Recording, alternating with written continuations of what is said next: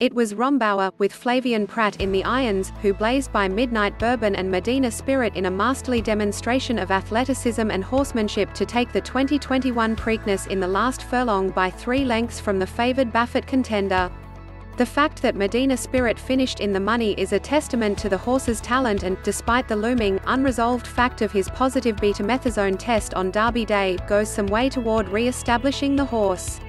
But beaten both by Midnight Bourbon and Rombauer, it was definitely not his day.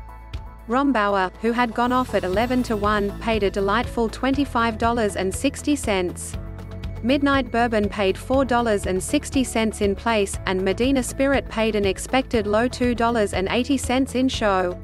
True to his front-running style, Medina Spirit broke well and had been up front early and long.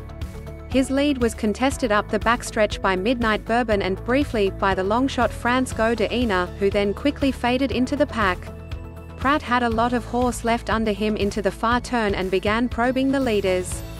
At the top of the stretch he swung Rombauer into the clear and gunned it, as Midnight Bourbon and Medina Spirit, who had led for most of the race, were locked in what their jockeys clearly thought was their own private battle to the wire. It was not to be. The Michael McCarthy-trained Rombauer showed not simply his mettle but his power as he rocketed past the frontrunners and pulled away, increasing his win at the wire to three lengths. Medina Spirit unmistakably faded in the last 75 yards but held on for third. Rombauer's textbook demonstration of bringing a well-timed, powerful run puts him in a welcome new light for the Belmont in two weeks' time. He looked dominant as he galloped out his victory.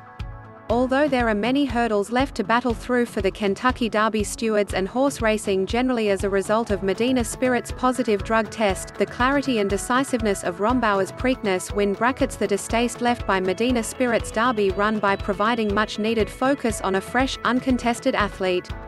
Within that focus lies a shard of hope for the thoroughbred racing community that the stain of the Derby can be worked through.